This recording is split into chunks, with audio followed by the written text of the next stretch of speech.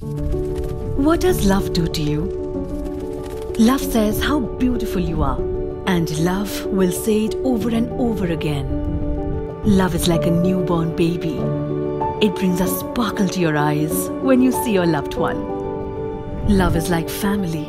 It means having someone always by your side. Love is like friends, supporting and creating memories to cherish forever. Love teaches you how to embrace yourself. The deepest beauty of love is how it changes lives. This Valentine's Day, let's get besotted with the notion of love. Will you?